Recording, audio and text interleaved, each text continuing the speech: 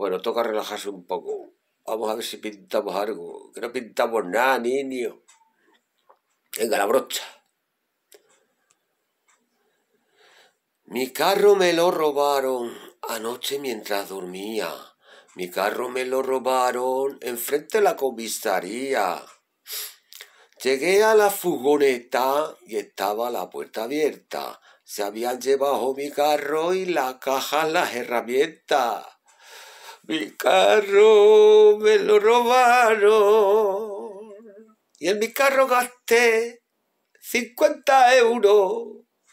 Y eso es de lo que yo, hay más me acuerdo, si los llego a encontrar, les parto el cráneo, ya sea español o sea rumano.